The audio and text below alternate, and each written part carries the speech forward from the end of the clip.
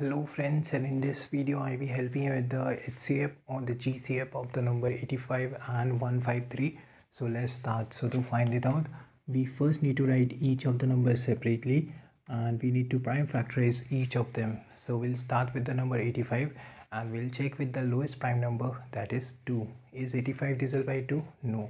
So we'll check with the next lowest prime number that is 3 is 85 divisible by 3 again no. So we'll check with the next lowest prime number. That is 5 is 85 divisible by 5 yes it is. And we'll be left with 17 is 17 divisible by 5 the answer is no because 17 is a prime number.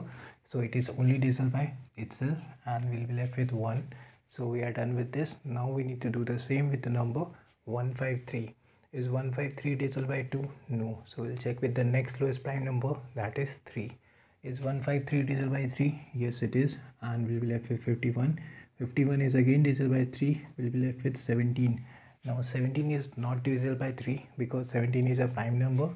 So it is only divisible by itself and we'll be left with 1 so we are done with the prime factorization step.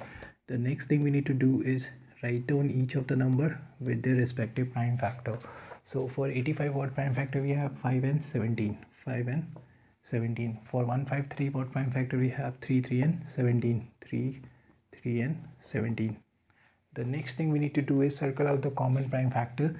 So we only have one common prime factor that is 17 so the answer will be 17 so we can say that the HCF or the GCF of the number 85 and 153 is 17 so this is also if you found the video helpful please do, do hit the like button. Do consider subscribing.